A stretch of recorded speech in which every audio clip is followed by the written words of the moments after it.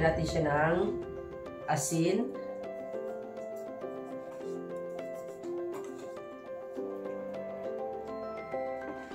Dahil ito ng mga suki, na natin siyang iprito. Mainit yung ating kawali.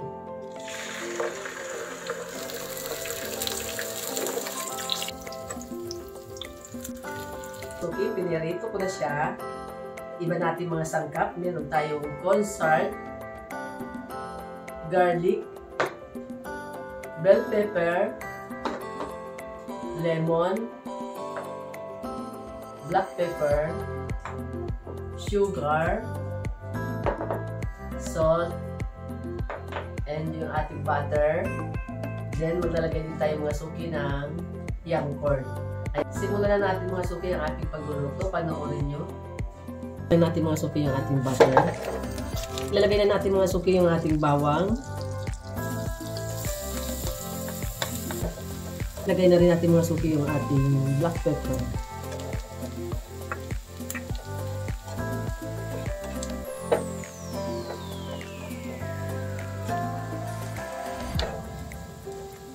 Lagay na rin natin mga suki yung ating salt. Then yung ating sugar. Maglalagay din tayo mga suki. Then lagay na rin natin mga suki yung ating bell pepper.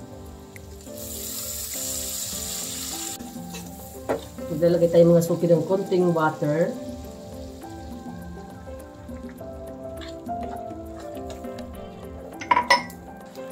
Then, ilagay na rin natin mga suki yung ating young corn.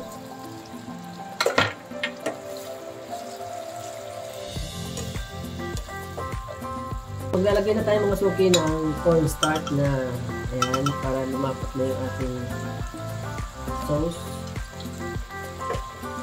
Ayan, unti-unti lang muna siya baka sumasubrahan ng lapot.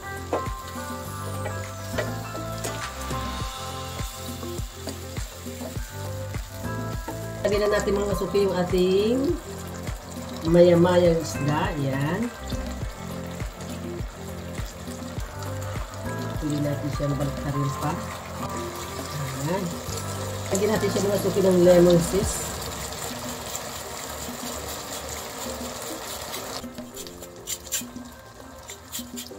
Ayan. Lalagyan din tayo mga suki ng lemon juice.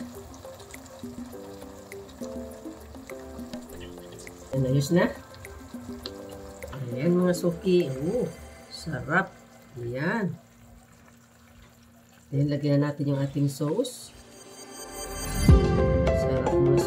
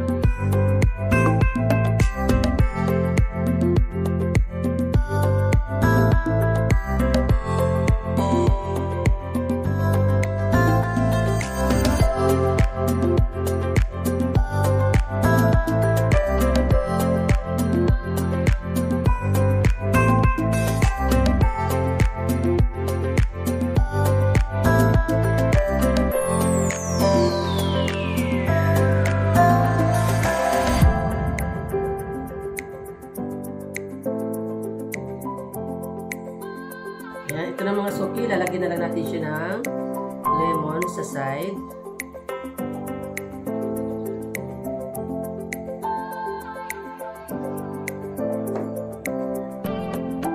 Ayan, perfect na.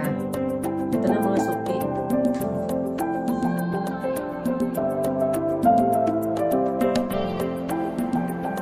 Ayan, tikman na natin mga soki ang ating recipe. Napakasarap ito mga suki. Yan.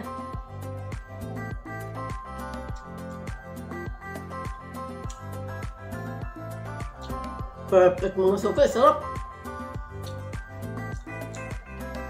Ayan, tikman natin yung ating young corn. Mm-hmm. Sarap mga suki. Perfect ang ating ulam ngayon. Ayan mga suki, isa na naman pong recipe ang aking naluto at napakasarap at napakadali lang po siya lutuin. Maraming maraming salamat po sa lahat ng mga na-subscribe at i-follow nyo na rin po ako sa aking Facebook page, ang Perry Cooking Vlog. Ayan. God bless po. Bye-bye. Ingat po kayo.